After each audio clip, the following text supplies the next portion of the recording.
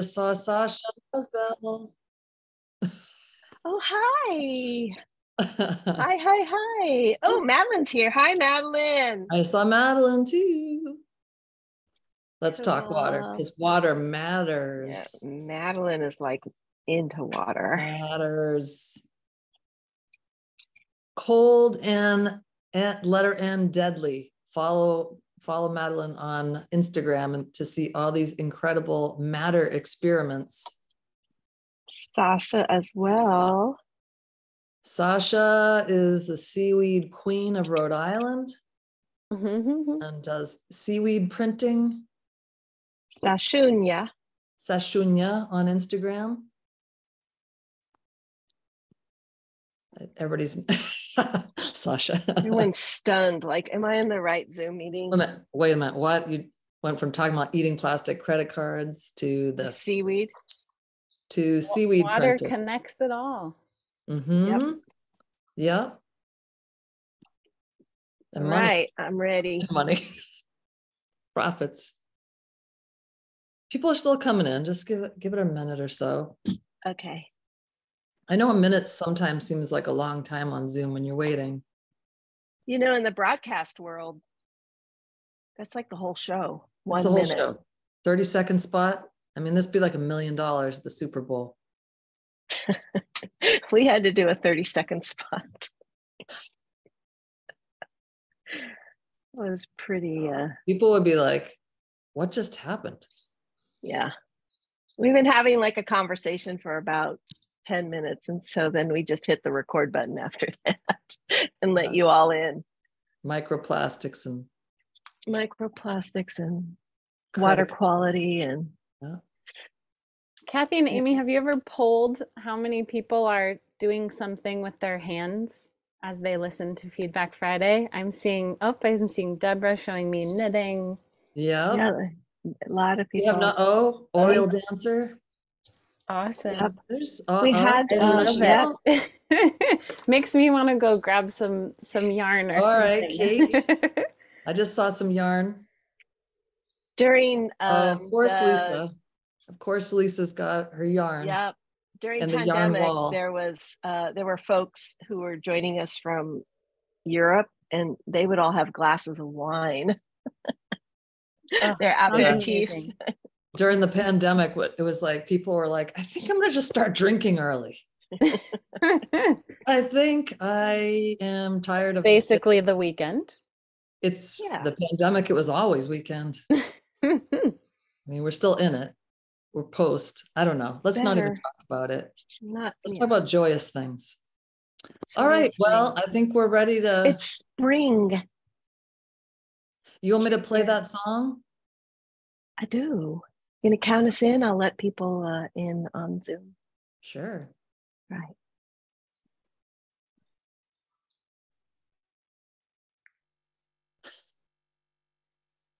Well, it's the end of the week. Now, where you been? Well, now it's Feedback Friday, so come on in. Come sit down and stare at your screen. We got a presenter that you never seen. We're Feedback Friday, we're on the loose. We'll be the train, you be the caboose. It's Feedback Friday with Kathy and Amy. Mashed potatoes and the gravy. It's Feedback Friday all day long. Feedback, feedback, feedback Friday.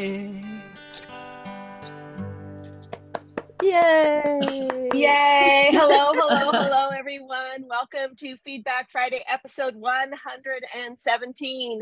Oh my Every time I say that number or the number preceding or the number preceding that, I, I always gasp that, my goodness, we've done this 117 times. Um, I'm Kathy Hattori, president of Botanical Colors, and joining me from Cape Cod is Amy Dufault, our director of communications, and we are so pleased to have a special guest in celebration of World Water Life, really. Yeah, life. Um, life, uh, Krystle Moody Wood. And before we get started with that part of the presentation, just a quick intro from us. Feedback Friday is our show where we talk with artists, scientists, activists, gardeners, seedsmen, seedswomen, um, growers, all sorts of people who are related to the world of natural color and textiles. So if you are new to Feedback Friday, there are 117 episodes out there that you can peruse um, to see what strikes your fancy in this amazing world that we're inhabiting. Um, so just a few reminders. Uh, we are uh, launching a dye kit for beginner. We're calling it a beginner dye kit, but I mean, this is a full sized dyes that we've chosen for you and along with some instructions and support that um, you can purchase. So that's on our site. We also have um, both our dye seeds and kala cotton, which is an indigenous cotton that is grown only with rainwater. There's no irrigation, uh, organically raised and uh, indigenous to the northwestern desert area of India called Gujarat. So that's also on sale. Um, Cara Marie Piazza, who has recently joined us as a brand ambassador and also the person who's making us laugh a lot, is um, got her ice dyeing video recording workshop up, and she also is offering a new workshop uh, through us about painting with natural dyes. So check that out. That's um, available. The date of it is April 15th. I don't know the time, but it's gonna it's a Saturday, so you can hang with Cara and have fun painting. Um, and then we also have had a couple of openings in the Abu Abubakar Fofana Santa Fe workshops. So if you've been hankering to go, but you found that the class was sold out, um, we did have a few spots open up. So grab those while you can. Um, so today we're welcoming sustainability consultant Krystle Moody Wood. Um, Krystle has been a friend and um, ally for many years. We've worked together since I would say what 2013, 2014 on the backyard project, which was um, it, one of the first local uh, fiber and construction and making a garment um, kind of concepts that happened with a major brand, the North Face. And it was an incredible journey to see how that happened. And we used Sally Fox's um, cotton. It was just, I mean, I'm sure Krystle can talk about it too, much more. But it was, uh, that's where I met Krystle. And she's going to be, she's actually shifted a bit. She's now a consultant in sustainability, but she really focuses on water issues. And so she's going to share a brief overview of the critical ocean and water impacts that are resulting from current textile and apparel systems and the way that the ways that textile leaders can address issues such as microfiber pollution, shifts from climate change, forever chemicals, and all these other things that we hear about, but we don't really have deep knowledge on what our response could be or what we should be doing as uh, informed consumers. So we're going to follow the presentation with a discussion centered around the role of natural dyes as a solution to some of these critical issues through the lens of water. Um, Amy's going to be our moderator and monitoring the chat once it's open. And that's where you'll post your questions. So Krystle, you don't need to read the chat. Amy's going to feed you any questions. Krystle's also going to be asking us questions in the middle. Um, so if you hear me going, uh, it's because I'm thinking, and um, we'll have that little interchange as well. Everyone's going to be muted for the presentation, but we'll open it up afterwards um, for questions and or um, hellos and the call's being recorded and we'll have a video ready later on. And any additional information uh, that's with this that's in the chat will be a sidebar in that video so you, we don't need to send you a chat as well. So now i'm just going to welcome Krystle. Krystle welcome welcome. So great to see you and um, we're really anxious to hear what you have to say Thank you, Kathy. Thank you, Amy. Um, I'm so excited to be on this side of Feedback Friday. This is such an incredible program you all have kept going. I didn't realize I was 117. Uh, I think that was actually part of my AOL screen name back in the day. The numbers 117 because my soccer numbers were 11 and 17. So this is just so fitting. um, I'll jump in here. Um, and I do consider you both dear friends. So I'm so excited to be here with you and your community. I love that people are doing things with their hands as we talk. Um, so I'm very excited to share with you all what I've prepared today. Oops, here we don't want to do that yet. Uh, let's see. Right, you should see uh, the full screen version of my presentation. Amy's nodding. Good. Awesome. Well, hello, everyone. Um, first, for today's program, I will share a little bit about myself, um, our consultancy, the critical issues we see at the intersection of textiles and water today, and then dive in deep into one of the more interesting areas of our work, or at least I feel is very interesting, uh, and that we feel needs more attention. In celebration of World Water Week, Kathy, Amy, and I thought it would be fitting to host a session centered around our life source here on Earth, water. Uh, as my shero and the great marine biologist Sylvia Earle states simply no water, no life, no blue, no green. All living systems are deeply interconnected by water, and I'm here today to share more about how this lens has shifted the way I work in fiber and textiles. I started my career just over 15 years ago with an eye towards fashion and textiles, with a knack for science, hobbies that centered around making my own clothing and thrift shopping, and a deep interest in sustainability. I found myself working in corporate materials development for one of the largest global apparel and footwear conglomerates of the world, VF Corporation, and a lot of that time with the North Face brand. Uh, through my role at VF in materials development and innovation, I had the opportunity to work with some of the most advanced textile mills in the world, developing new materials, new chemistry, processes, and products with performance and sustainability as the main drivers. On paper, I had a role that should have fulfilled my wildest career dreams, but it didn't. Thankfully, while in that corporate materials development role, I had the opportunity to meet Rebecca Burgess, pictured here on the left, uh, and the amazing community she had already built around her nonprofit Fibershed. Together, along with an epic team of people, including Kathy Hattori and Botanical Colors, uh, we developed the backyard hoodie displayed on the upper left. Uh, using color grown cotton with Sally Fox, uh, blended with fiber from farmers in the Sustainable Cotton Project here in California. The hoodie was grown and sewn in California and 100% produced in the US something very unique, something the North Face, as far as domestic production wise, hadn't done in years or decades. Um, and uh, really thoughtful around a soil to skin product. Um, through this work with Fibershed and, the, uh, and Rebecca, I began to learn the important role that natural materials and dyes have in our material future, how the lens of soil, regional production, and knowing your entire supply network uh, were key to deep environmental stewardship in textiles. But there was still a missing piece for me. And that realization came to me on a boat in the remote Indonesian islands. So, still soul searching in my corporate materials role, I decided to join a plastic pollution research expedition hosted by the nonprofit Five Gyres, knowing that microfiber pollution would be challenging to see firsthand because it's so small um, and we, the equipment on board would not be able to see it. I decided to join the sail to better understand plastic pollution as a whole.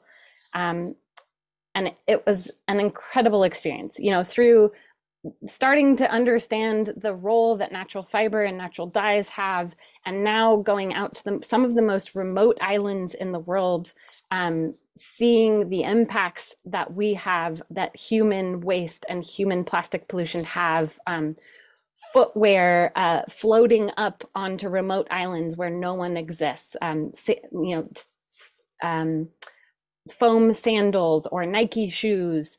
Um, also finding things like this, this textile debris. I ended up being the sort of footwear and apparel uh, anointed person on board. So anytime anyone found something, they came and brought it to me. Um, this was a piece of debris that was um, intertwined in the mangroves of a remote island that uh, someone retrieved while kayaking uh, from our, our boat that we were using.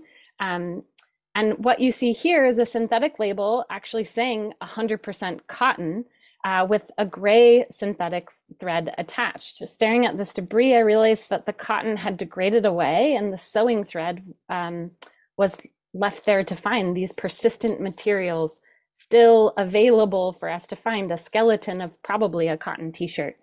Um, you know, and it was then that it really started to just open a lot of different questions in my mind, thinking about uh, single materials. Here's this cotton t-shirt, but we're using synthetic materials on tags and, and how we compose and, and put together this piece of clothing.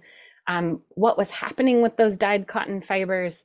Um, they were not attached anymore to this particular piece of debris, but where were they? What, what impacts are they having? Um, so microfiber pollution, we know, isn't the only issue that our oceans are facing. Um, it is really the design of the whole textile and product system. So with that, um, with that inspiration, I, I soon after decided to leave my corporate job in materials development and start my own company, a sustainable textiles consultancy that works with leaders across multiple sectors and to build regenerative systems through the lens of soil, sea, and circularity. At Materevolve, uh, we envision a materials world that stewards the health and wealth of all living systems, a world where science and creativity are in balance and we can wear textiles that match our values. Through the water lens, I found an ocean conservation consultant willing to dig deep with me at the intersection of textiles and ocean. I see her here today. Hi, Carolyn. um, she has 20 years of ocean conservation experience, 10 years in plastic pollution specifically, and has planned over 10 ocean expeditions. Carolyn has been instrumental in bringing the ocean and water lens to our work at Materevolve. And uh, together we've been able to build an amazing community and body of work at this intersection and look forward to continuing to grow that effort. Our three main services include sustainable textile consulting directly with clients, uh, a, a, wide range of clientele, providing expertise, project management, technical writing, creative ideas to address each client's needs, building experiential learning programming, and educational speaking or science communications. Uh, we work with a wide range of clientele from industry brand leaders, sustainable manufacturers, materials innovators, farmers, fiber and dye producers, NGOs, and government agencies. We believe that designing for a blue material world takes a cross-sector effort and a variety of key stakeholders. So through the lens of water, we see and we address these critical issues through our work. First of all, our ocean chemistry is shifting. Uh, it's threatening finite and fragile marine life, as well as food security and livelihoods of our global communities dependent on these marine ecosystems to live. Um, with global warming and excess CO2 in our atmosphere, we see major shifts in ocean health, causing uh, a phenomenon called ocean acidification. The ocean is an important carbon sink already, a place where carbon is stored and exchanged. Wherever air and water meet, the ocean absorbs CO2 naturally, and marine organisms breathe oxygen and give off CO2 just like we do. So with CO2 concentrations higher than they've ever been in the past 800,000 years and climbing fast, ocean chemistry is shifting at an alarming rate.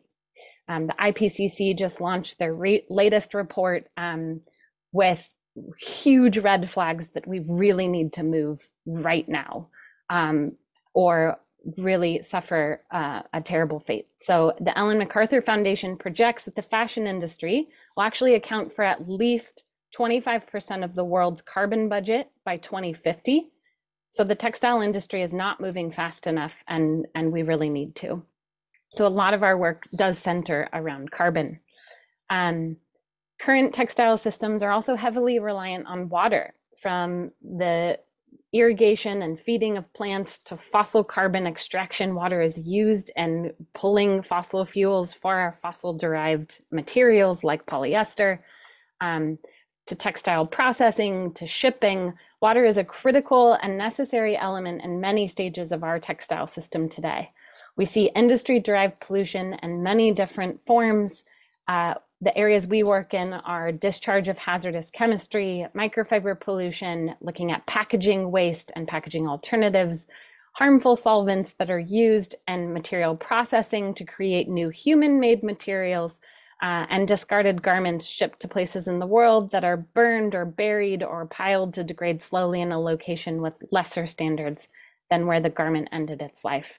Um, there's quite a bit of industry derived pollution, and, and we know a lot about it today.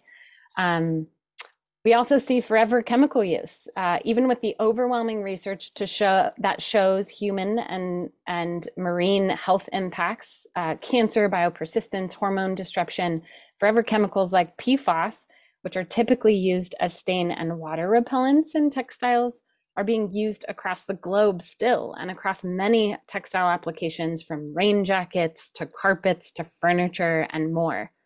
Thankfully, we are seeing European legislation and now recently state legislations, like here in California, implementing bans through policy, but we still have a long way to go before these chemicals are removed from our products and processes. So educating yourself and, and knowing about um, PFAS and flame retardants and these common chemistries are really important. Uh, we also still have a very a, a linear economy, non-circular textile and product systems. The Ellen MacArthur Foundation states that over 100 billion items of clothing are produced each year.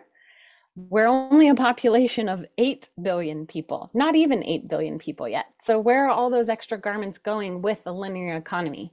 Um, our blue planet is inherently designed as a closed loop. So, why are we not designing with this in mind?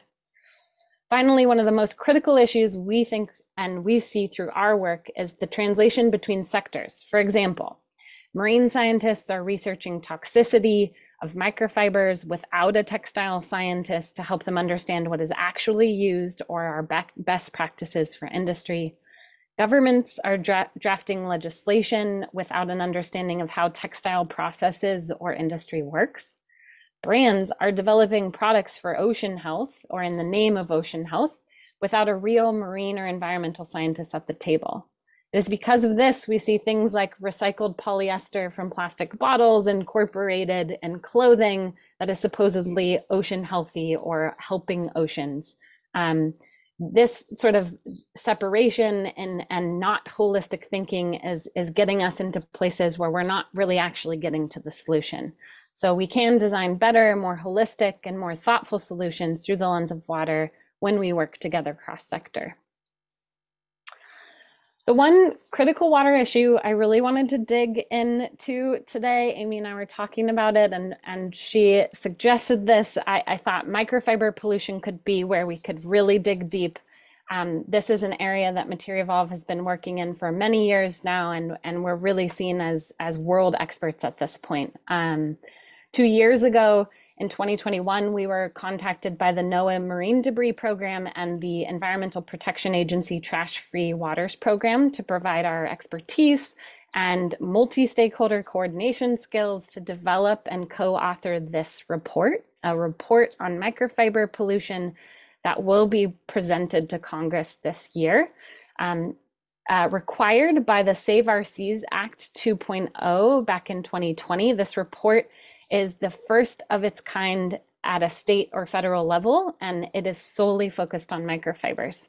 Um, it includes a proposed definition of microfiber, an assessment of sources, prevalence, and causes, uh, a recommendation for standard testing methodology to measure and estimate microfiber pollution, recommendations for reducing um, microfiber pollution, and then a five year plan for federal agencies in partnership with other stakeholders for how they can lead opportunities to reduce microfiber pollution. We actually had 30 different agencies um, go through a two part workshop to commit to um, specific actions related to microfiber pollution research, solutions, um, getting folks together.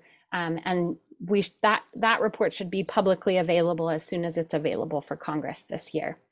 Um, through this report, we were able to work with leading scientists in microplastics and digest into an actionable report that um, can help us move solutions forward.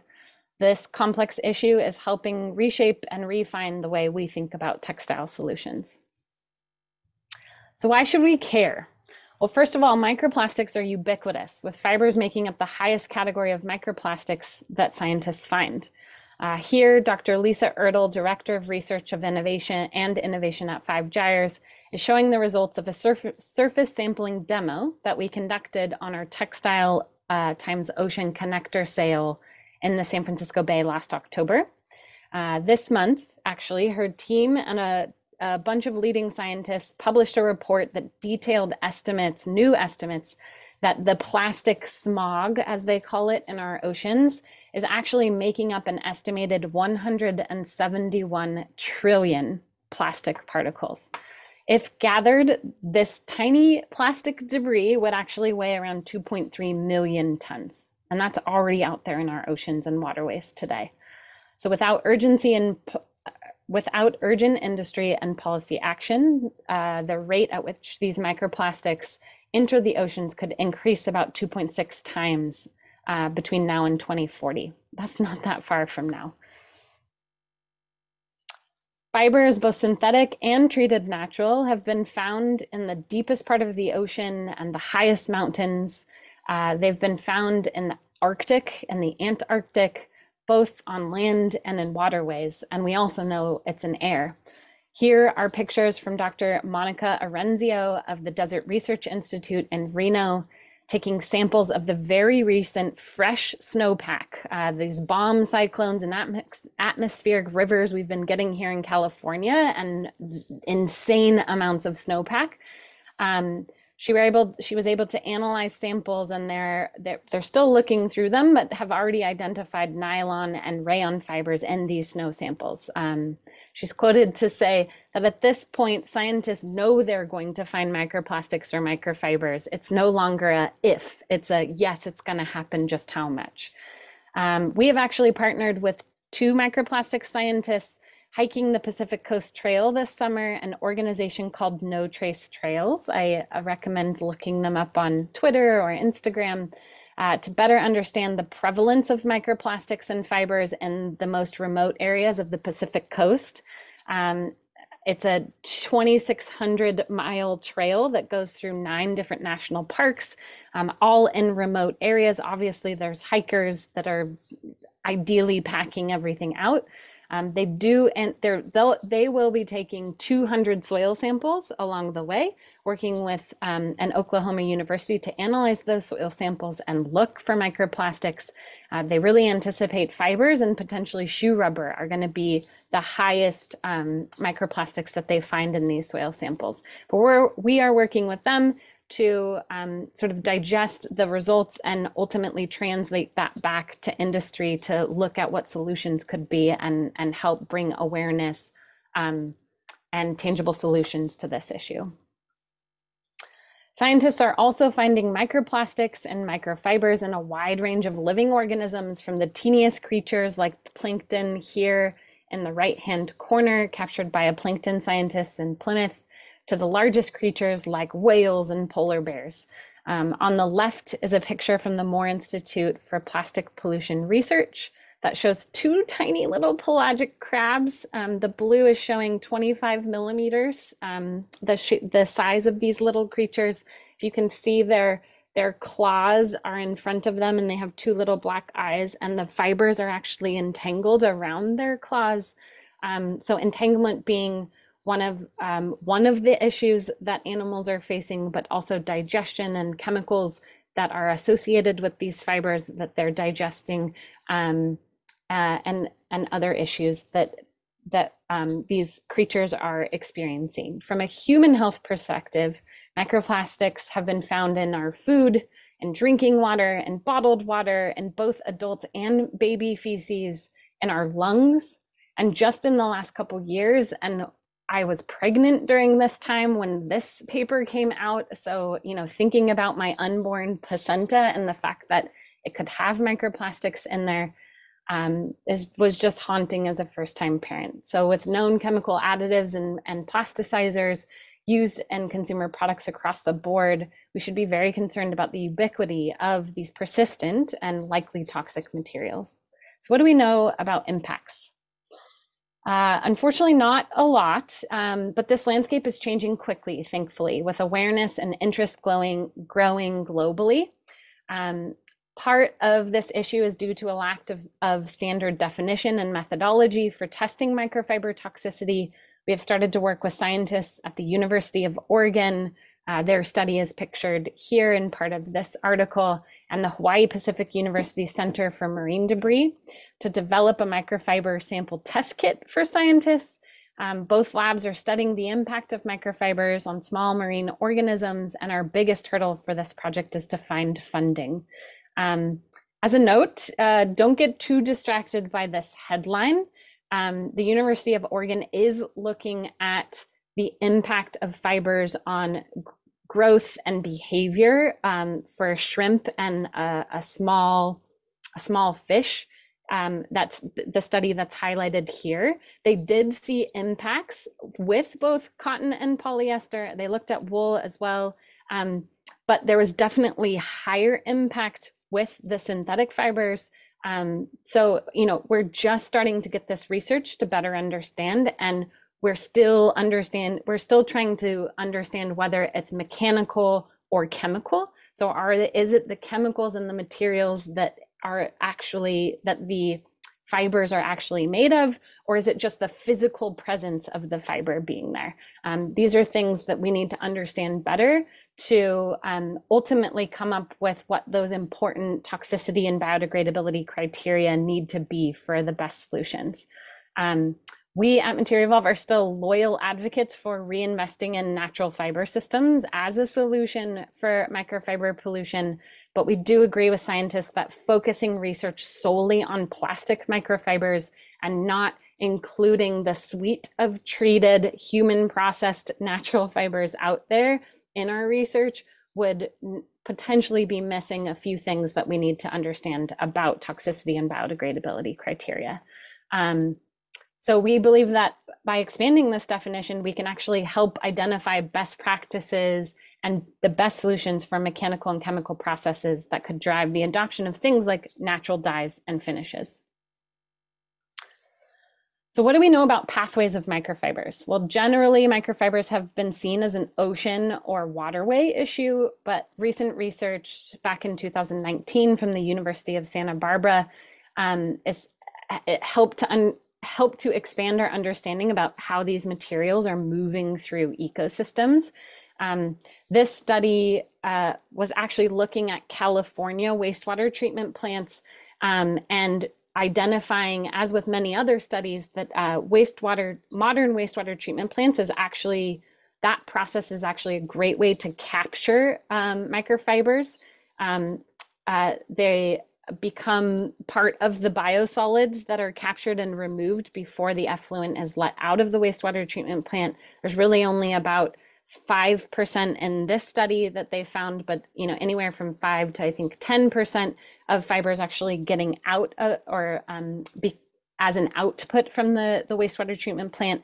Um, the problem here being we here in California look at biosolids as this great nutritional source that we can then put back out on agricultural lands, um, land apply these biosolids because they're a great organic um, uh, organic substance um, to actually help um, restore soil health. Um, but unfortunately, there are these these PFAS chemicals as well as um, fibers also still bonded and within these biosolids. So here in California, actually 74% of the biosolids captured were, are, were put out on, um, on, on terrestrial environments, 17% went to landfills and 3% uh, went to incinerators. So it's just something for us to think about. Um, you know, we, uh, the original thought was apparel washing was this huge source and pathway um, for microfibers getting out into our waterways, but air deposition as well as um, uh, you know secondary pathways like land application of biosolids are also an important so source and pathway to think about. In the 2022, so last year, report on microfibers, um, the invisible pollution from textiles. This graphic was produced with the most relevant and recent estimates for textile use. Um, the main thing I wanted you to get across here is on the right, um, they actually talk about textile manufacturing and the estimate there. And if you look directly left where it says textile use, which covers us as consumers, where we're laundering, um, whether it's residential or commercial, um, and also just general wear and tear. So, textile use, what we do, and textile manufacturing, what industry has control over, um, are pretty equal estimates. So, in other words, textile industry has a huge role to play not only in how they design the garment for us to wear, um, but also um, what they can do along the textile manufacturing pro uh, processing line, in addition to materials choice, obviously. Um, so, what can industry leaders do to reduce their microfiber footprint? Well, in the recently released Tackling Microfibers at the Source uh, report by Forum for the Future, it was no surprise, at least not to me, that um, wet processing stages of textiles, so dyeing, washing, finishing, those were the biggest source of microfiber release. One of the key recommendations they provided was to work upstream with textile manufacturers to implement so brands could work upstream with textile manufacturers to implement more robust wastewater treatment. Um, in some cases there is not any wastewater treatment depending on um, the the brand's existing sustainability uh, expectations with um, with their upstream partners. So that's something that definitely needs to be in place. Um, but as we learn about more best practices in wastewater treatment here regionally and locally. We can also cross share that with our textile manufacturing and vice versa. Um, they also recommended to invest in low impact or new types of coloration, coloration technologies, dry processing, things like digital printing or sublimation printing, um, using supercritical CO2. The, we've been dyeing, Amy and I were talking about this two days ago. We've been dyeing things the same way for hundreds of years, and we can really think more about how to use less water in the process or maybe no water at all um, because we are so reliant on that as a resource. And in the case of textiles, that is a lot, that agitation um, that processing is a lot of where fibers are released in textile manufacturing. Uh, industry leaders can also fund research like the microfiber sample kit that I had mentioned earlier to support our understanding of microfiber toxicity and come up with that biodegradability and toxicity criteria.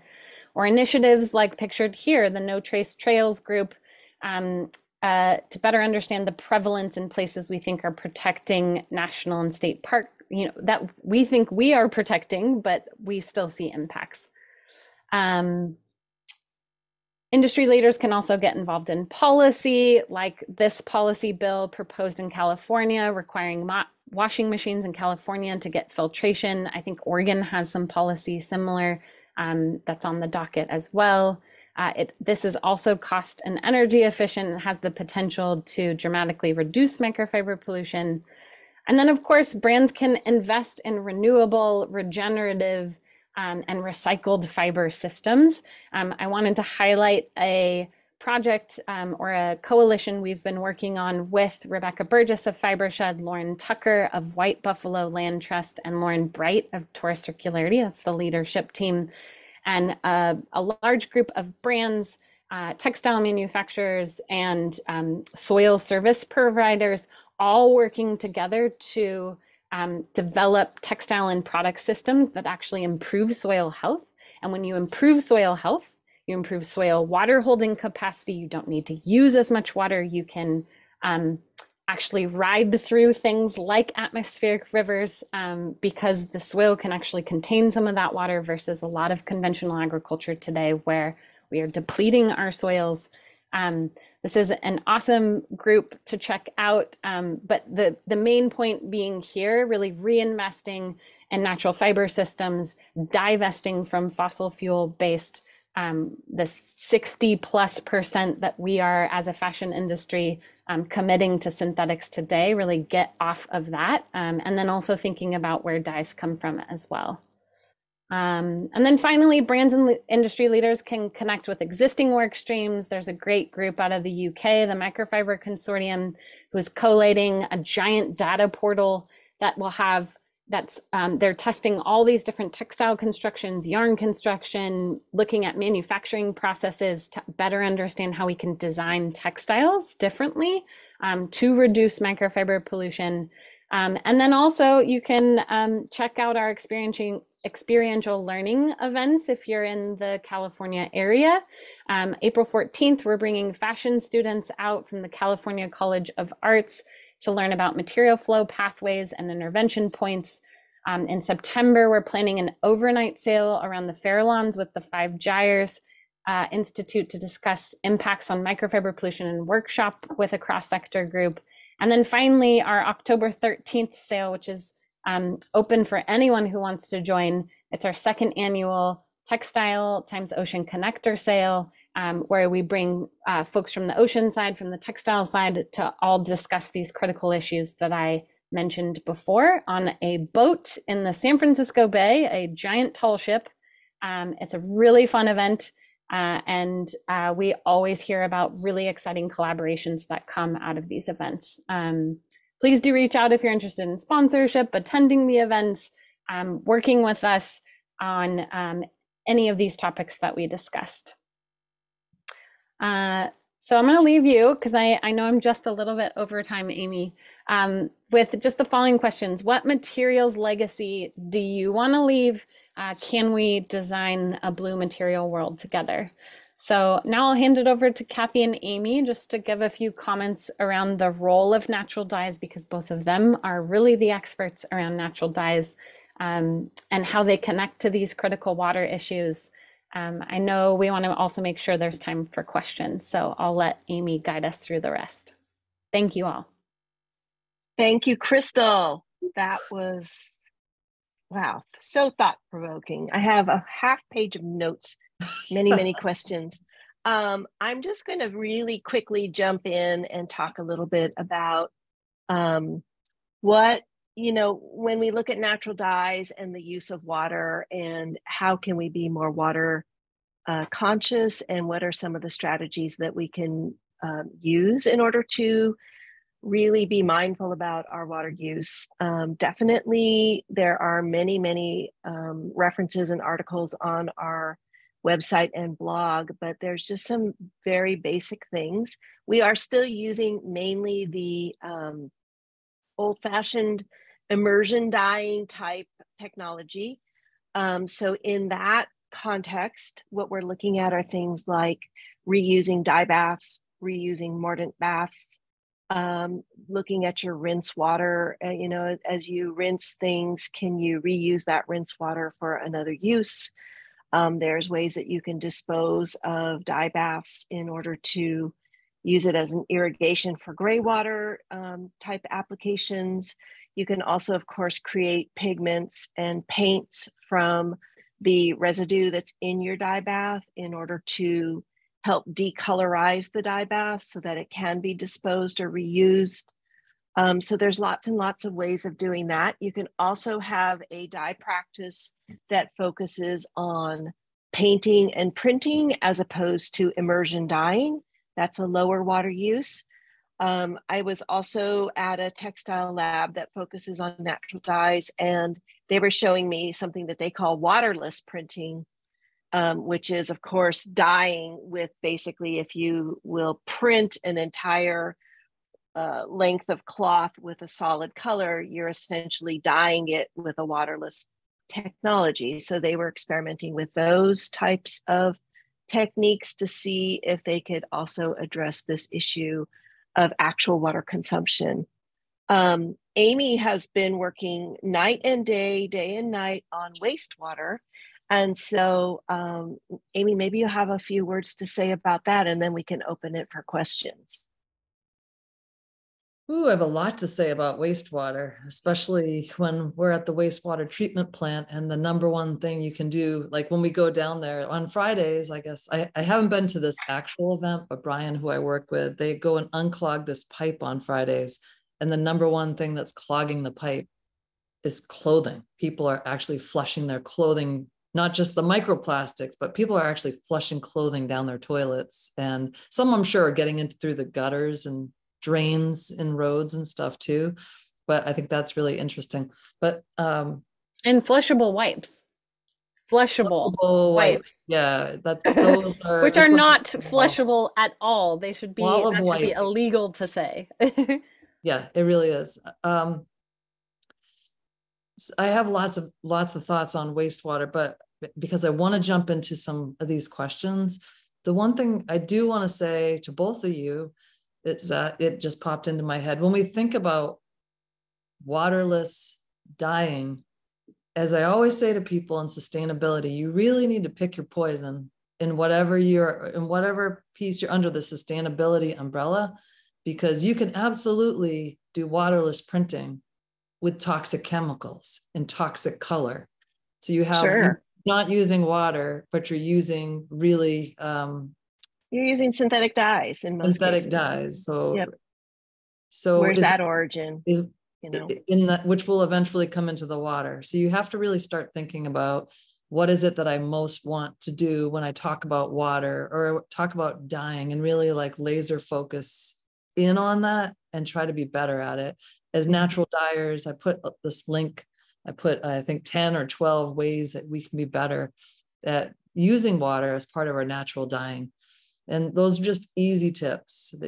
putting rain barrels up. I mean, Madeline, who I'm looking at right now, I see you. Uh, Madeline came on and did a feedback Friday on on water and the impact of water on some matter experiments, which is completely she she's doing many more experiments as well. And there's lots of different ways you can get water. So you have to be creative and pick your poison and realize that natural dyeing is not the best thing in the world, but neither is uh, waterless printing. It's just like what, where are you doing what you're doing? How can you conserve? How can you use less? How can you keep recycling? How can you, for us, evolve your clothing? I mean, I have an Eileen Fisher shirt on that was that Kathy dyed as part of the Indigo collection. They're releasing next month. And it's a gently worn Eileen Fisher silk top that was gently worn, but now it's this awesome blue silk top that I have on. So think about evolving your clothing too. Okay. I'm going to jump into some questions if it's okay. Yes. Are you ready, Krystle? I am. Okay. All right, let's see. Um, so, and I did before we go there, I did just want to mention, you know, the the role of wastewater treatment and uh, thinking of a textile manufacturer as a closed loop process. There are some more modern uh, textile manufacturers that actually reclaim their water. They treat it well enough to then reuse it again. So to your point, um, maybe it's not moving to supercritical CO2 as a vehicle to dye materials um, because we're thinking about the input chemistries and the energy involved, um, but that we are also thinking about this important role of treatment of what goes in and what goes out, not just saying, oh, I'm going to go produce in Vietnam because their regulations are different than this country. And that allows me to um, just have an output that I don't have to think about. I'm meeting that country's regulation. Um, we know now it's not just hazardous chemistry, it's also um, fibers, uh, fibers that we're treating um, that are getting out into the world and impacting organisms uh, and healthy living systems. Yeah, wastewater is truly, I mean, the work that I'm doing, I'm growing natural dye plants in wastewater and in, in different types of wastewater. And as part of a Fibershed grant, I'm actually focusing on urine diversion and using urine as a fertilizer for plants, which is nothing new. There's other projects doing this, but we want to see uh, you know we don't want we don't want all these chemicals we don't want all the plastic particles and people's pee going back onto the land which then goes back to the water so it's a real study and, and looking at that but there's there is actually lots of potential for wastewater to completely change the fashion and textile industry in way like more ways than one beyond fertilizer, but And that word waste, I mean, I think Yeah, that's part yeah, of the know, problem, right? It's, waste, nu- it's nutrient water, you know, nutrient filled plus So maybe things we abundant, don't you want. know. it's a resource. water. It's a resource. Yeah, it's a resource. It's getting people to reframe it and think about it in that way as well. Okay, um, so somebody was asked, there, two people had asked about, well, it seems that all the ultralight clothing and gear for through hiking are all synthetics. How can hikers be educated about their purchases? I put a couple links in there. There were some things I found, but All right, we've got through hikers, huh? Um, you should definitely check out check out No Trace Trails. Uh, so I did spend a lot of my career in the outdoor industry. Um, what I can tell you, if you haven't discovered wool as a base layer, um, I highly recommend it. It works in many different climates um, and uh, conditions. I- know it's not as durable as uh, what the polyester and nylons of the world um, but it works really well. And um, thankfully, this community is uh, really great at mending as well. So you could maybe find a resource and support there. Um, I would highly recommend we are in this shift right now. One of the key things with outdoor gear to um, avoid is PFC finishes, uh, water and stain repellents that are used commonly on these items. We are seeing some brands in the outdoor industry shift shifting and actually reporting that on their website. So you can actually look for the pfc free treated outdoor apparel um, just to avoid having that in our uh, when we wash it or when we wear it out in the outdoors if you can move to the alternatives and um, or buy something that and or not use something that has um, that water uh, stain repellent unless you need it um, that's one of the most important green chemistry principles is asking, do we need it? Um, and yeah, I think hemp is also a really great material that's thankfully coming back from a domestic uh, production thought perspective. It's another world that we're living in and thinking about how we can build that system here with regenerative agriculture in mind. Um, and hemp is a little bit more durable than cotton. So hemp and cotton blends can perform better than a traditional cotton. Uh, in some cases, I mean, obviously this depends on yarn and textile construction, um, but I am seeing the outdoor industry shift into that because um, they are being targeted in a lot of ways uh, with this microfiber pollution issue. Um, with Patagonia having the original research that told us over 300,000 fibers per load on your synthetic fleece are being emitted, um, to just a lot of awareness and interest and from those brands because they know they want folks to play in the outdoors and they don't they don't want to hurt the outdoors so they're really thinking about material choices and what's next and after that Patagonia study, of course, they um, they continue to make those plastic fleece jackets that are their top selling. I've got to throw it in, but um, and I know Laura Sullivan's here. they're here, not the only ones I know they're not the only ones. They're definitely everybody likes a Patagonia fleece pullover.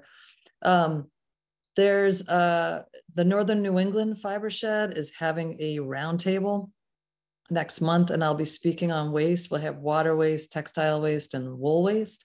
But Laura Sullivan, who's on here, um, is also will be talking about hemp and her work with the University of Vermont growing hemp. If people are interested in May, come say hi in Loudon, New Hampshire. Okay, uh, sounds awesome It's going to be awesome. How can one be more mindful with their daily fiber uses in the home environment to mitigate or reduce microplastic pollution? Yeah, great question. Um, uh, generally, there is quite a bit of research in um, textile care. So, um, washing less. I think um, the average American washes 10 loads a week. Um, and before having a baby, I didn't understand that. I think I would save my laundry until, you know, every three weeks. But so washing clothing less, um, washing on cold um, and, delicate or um, permanent press, you know, that medium setting as opposed to always going sturdy uh, to that sturdy setting. Um, just in general, agitating the clothes less when they're wet. Um, uh, also, just thinking about your material choices. Um, again, us as consumers reinvesting in natural fibers, uh, thinking about those non-woven face wipes that you use every day if you use them to remove your makeup you know that's that's also a textile and a, and a source of fibers. Um, the masks that you use if you're still wearing masks um, what clothing you put against your body uh, the things you choose and use in your closet or choose to purchase um, really look more towards um, uh, natural fibers, renewable sourced fibers, um, as opposed to the traditional polyester and nylon. And to Amy's point, use what you have. Um, the more and, and keep it mended. So obviously, fibers can also be emitted when you've got a hole in your sweatshirt, you, and ultimately the thing becomes unusable potentially. Um, so um, yeah, do a little mending and and keep up uh, keep up the quality of your clothing so that it keeps its value over time for you. Um, I think we maybe have time for one or two more questions, but um, so this question is, can you explain further how microplastics are being found in snow? Are they combining with the snow in the atmosphere? Is it wind incorporated? And how has this very wet winter in California impacted microplastic levels in our waterways and fiber crops? Those are great questions. Um, the pathway the sort of the environmental compartment we don't know a lot about because it's a little harder to test is air and air deposition as a pathway. Um, because we are finding plastics in the arctic and the antarctic we really have to think about air being likely a deposition pathway. Um, the snow is is actually a great representation of these fibers are likely in the air um, and being um, as snow is formed because of cold temperatures actually raining down or snowing down onto um, onto our, our land. Um, we five gyres um, and ourselves on this this September sail that we're planning to the Farallones. Um, Lisa Erdle will actually be taking air samples the Farallon Islands are these this like remote group of islands that no one is allowed to touch. And so taking samples around the air outside of such a high urban area like San Francisco will give us a lot of information around how samples are being moved. Um, another uh, study I know about is outside of Hawaii and the Hawaii Islands, just trying to better understand air deposition as a pathway. Um, as far as what these rain events are going to mean for microplastics. One pathway um, we know a lot about here in San Francisco is com- um, like urban runoff uh, and sewer overflow. Um, when we have these huge rain events, and that's where a bulk of the microplastics come from, washing off our streets, washing off um, our different urban land, uh, urban land areas. And so I do anticipate that we may have a lot more. I don't know anyone that's studying that per se here in California, but it's certainly something I think would be really interesting because now they're naming these atmospheric rivers like hurricanes. So I, I think we're going to have to expect them to be the new norm. And so thinking about what does that mean moving forward is super important. I trying to find so many different links too as you're talking. Um,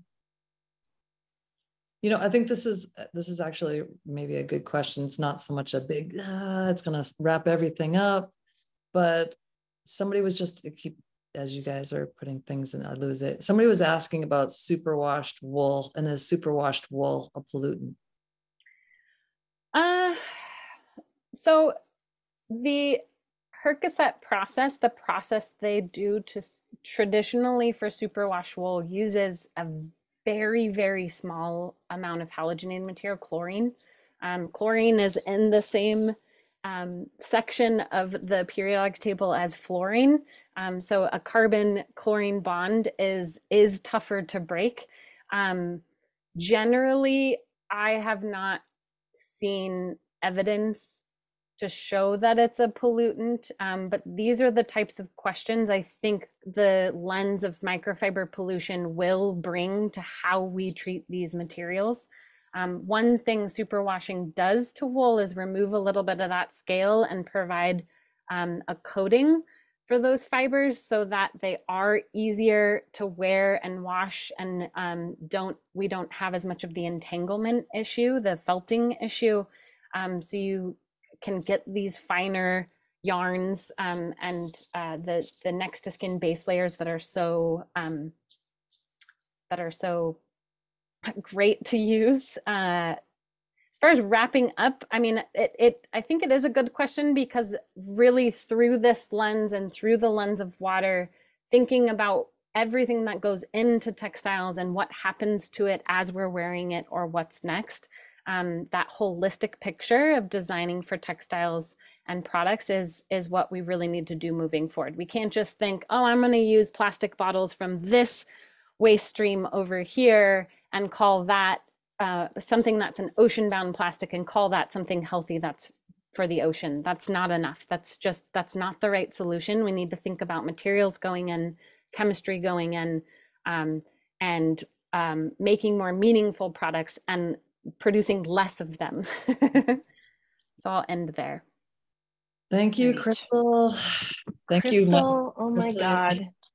I know. I, I have so many things to ask you, but I also, I took off for a second and I just wanted to show you, I, I still have my backyard hoodie. right oh, how special. Yeah, I know. I, I got one of those. Uh, I have two, and I'm one of them's an extra small. I'm waiting for my daughter to fit into. I'm excited. I like using it when I do fire shed talks. It's like a, it's a nice thing to talk about how this has been done. So Well, thank you so much for having me. Um, thank you to this community. And uh, yeah, I'm excited to explore, continue to explore what natural dyes and their role uh, can do through this lens. So, uh, Kathy, Amy, we'll be talking again soon. absolutely happy to talk about it.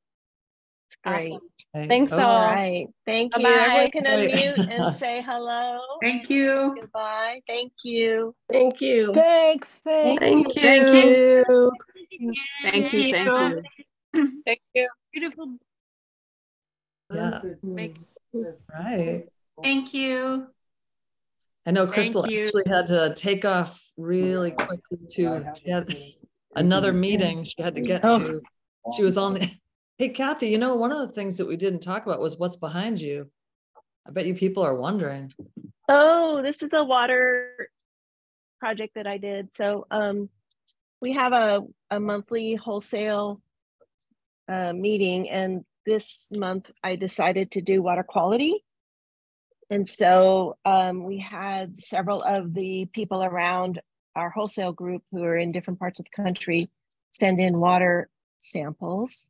So they each sent me a little bottle of water and uh, I dyed the same yarn, same mordant, same amount of dye with their water. And as you can see, we got a pretty interesting range. Um, so this, this, this, this, and this are roughly a similar color, but this is a complete outlier.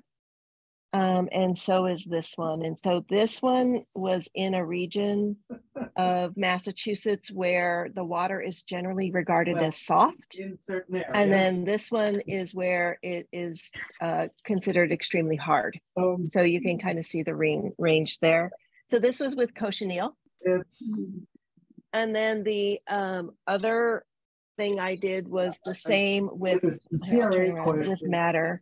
the And best- again, Little easier is to pull it down as data. This is than the one that's the salt self-form. water. And then this one is the one that had really Alright, super hard water. So you can again see that the, the dye, this is madder. The dye really reacted to the water quality. And it was just an experiment we were doing to see what was going to happen if um, we all tried to dye you know, if I dyed something with everybody's water. So it was pretty interesting to do that. I've also done this type of experiment where people would send in their dye plants. And so we would dye, everyone would, we'd either distribute yarn and people would dye with their own dye plant in their own water. And then we would reassemble it and see what the um, study was about. So Madeline, that's probably something that we could. I saw you raise your hand, but I can't hear you. Sorry, sorry, I had muted people because I didn't know where that was coming from. Oh, there. It wasn't me, I swear. Ah. Can I just ask a question about the samples? Yeah. The really hard water sample, it's from somebody's well? Or it's from like, Um, it's actually from, um, it's not, it's not tap water. It's actually from Alum Rock Park, Oh. which is the park. It's in San Jose in the East Foothills, and it's the park that I grew up going to pretty much every single day as a kid um, So to it like play. and it's got water? mineral springs. Uh-huh. oh, okay, yeah. Cool. Mhm. Yeah, it's a, it's interesting though, no matter what, like uh, with um the colors that you got, Kathy, that there's, you know, when we talk about here's the recipe, like Kathy will give, but it'll always it could always be different because of what your water is like. So it's but Yep. it's so it's interesting to see depending on that. And then you were giving tips during that wholesale meeting too of ways that you could help to balance that as well. So you could get that color that you really do want to get that like certain red or that deep, the deep red of both colors. mm-hmm, mhm. Mhm. Okay. All right, Amy, it's 10:06. Yes. Half of the people have, have left us. They've gone on to, who are they? Fine. Who are, who even are they? All right. Well, thank you, everyone. It was a great meeting. I'm going to stop this recording. Yeah. Thank you.